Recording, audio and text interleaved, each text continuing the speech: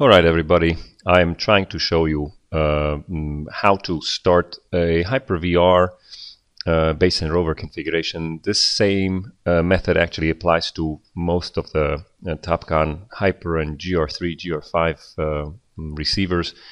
Uh, it's always the same as far as starting your base and the rover, um, regardless of your model. So even though I have a Hiper-VR today, uh, you can use this uh, method uh, starting any other uh, base and rover configuration with UHF radios. So what I'll do is I'll start a new job, call it Hiper VR base and rover. Hit next. I will select my configuration. Once again, configurations are pre-done by your dealer or yourself. Um, tested and then there's a separate video on how you actually configure these. But for today I'm just using that. We'll hit next.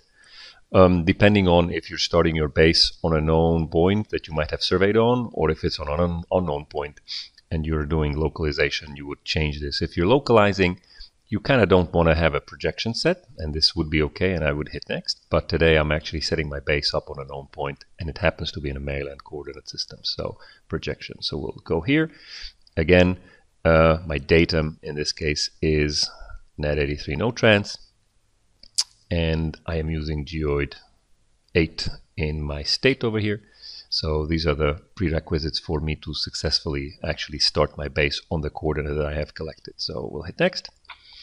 It is in US survey feet, not meters, so we'll hit that. Northing easting elevation is the coordinate order. Hit OK. Green check. This way I have the job started. Um, what I may want to do is at this point I may want to actually bring in my point that I surveyed in. So I'll go into Exchange, from File, I'm bringing in a point. It happens to be on the same computer uh, data collector that I have here with me, which means selected file units we don't need because it is in feet. We'll find this Hiper-VR base is where it is. It is in the same format as what we're importing, meaning it's comma separated northing uh, point number, northing, easting elevation, and description codes.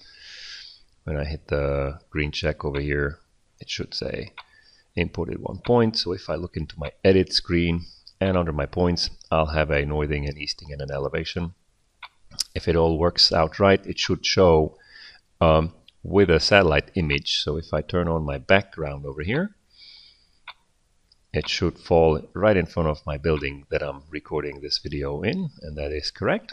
So we'll hit home. That's just a common sense check. You don't have to do what I just did over here. But uh, let me go ahead and actually connect to the GPS. First thing that you always want to do is connect to the base because you have to start that on a point that you either have written down on your field uh, in your field notes or um, just like I did import it from a, a, file. So I'm connecting to the base, hit connect. The Bluetooth on it should be on, which means the computer should find an available device to connect to. Let's wait for the search to be finished. And that's my base for today. That's the serial number of it. We'll hit connect. When we connect to the GPS, you should see this little icon change to a GPS receiver. Um, all right, now I'm connected. I am uh, next. The next step would be go into setup, and you're you can kind of ignore. Yes, you can go into status, and you can actually see how many satellites you're seeing. But at this point, this is irrelevant because I'm about to start my base. So I'll go into start base, and over here, this is where if I want to, I could have keyed in those coordinates but I chose not to. I actually chose to uh, bring them in from a uh, previous uh, file. So I'll go into my base point number with the correct elevation, correct description. And this is important over here. So what this little button is asking for, and you can see the little red outline is what is the height over the point. Now by default, um, most of the configurations load in slant height, slant measurement height, and how you can tell the difference between them. You'll see the little icon change from a pole to a kind of a tripod. And uh, you really need to make sure that you're measuring the right height. I happen to have it sitting uh, on a 1.5 meter, and you can type in 1.5 and then switch it to the alphanumeric keyboard and actually type in M, and you'll see when we uh, click anywhere over, it actually converts it. So it is 1.5 meters. It's a windy day outside today, so I didn't really set it up on my usually 2 meter uh, height pole. But uh, this is the height of my base. And before I hit start base, typically um, I check my radio settings. And uh, this is how you do it in this screen. You hit the drop down and go into configure radio. And if your settings are set right in all of your configurations, you should see these populate. So it's now starting querying the actual receiver for frequencies.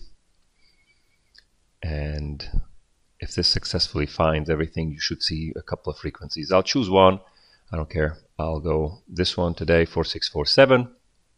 I will make a note of this screen because this is the same screen that we will have to configure our rover to. So we'll say hit start radio and wait for these settings to actually be set over to the base. We'll hit close. We can now close out of here. And at this point, I see that I'm at 17 satellites, um, autonomous position because it's a base, it'll never be fixed. So we'll just hit start. And this should tell me that the base was started successfully and automatically asks for a rover connection. We'll say yes. Let's go to the rover connection. It switches, uh, the software switches the base radio button to the rover radio button. We'll hit connect again and it should once again do a Bluetooth search.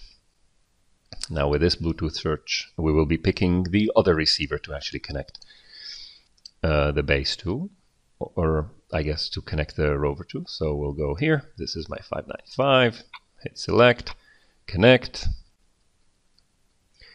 Once again, we should see a successful connection with our actual receiver.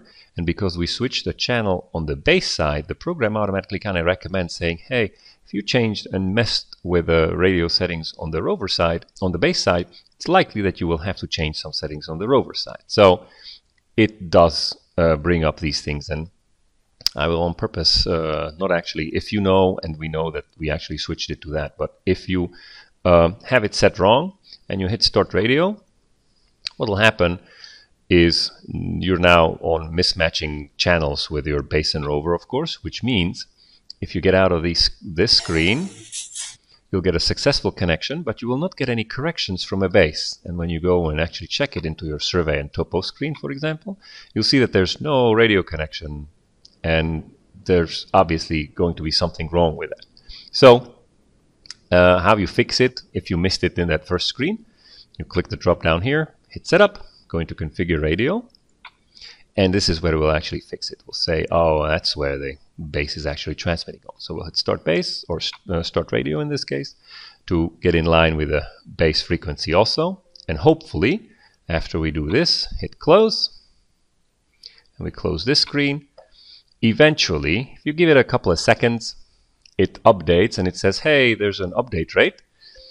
It also might notice or might tell you that there's a, some base uh, station data that was received already. That's a good sign. And you'll get a fixed solution. And now a fixed solution, once again, if I look at my map, should be, it is sitting really close to the base because I'm inside and I'm not really moving the pole. But uh, occasionally this message, I've seen it come up a couple of times. But again, it just means that everything's working right. Uh, my height happens to be also 1.5 feet, uh, meters actually. So let's do this on this too. So now my uh, elevations on my poles are correct and my radio is actually correct. If you want to verify that it's really talking to the radio, it's a nice thing to do is go into status and check your distance. And this is where the base distance, instead of being miles or I don't know, thousands of feet, it really is because I'm only about five feet away from it. So it's 4.82 feet away, so I know I'm definitely talking to the right base. All right. Um, just as with any other configuration, what's useful if you're finished, because now you're ready to actually do your surveys and your stakeouts, if you're finished, please do yourself a favor, disconnect gracefully. So we'll hit connect, hit disconnect. This is a single uh, step process and you're done. You can hit home and actually close the job. Uh, hopefully this video is uh, useful for those who uh, have trouble maybe with the radio starting And uh, if you have any questions and comments, leave them below. Thanks.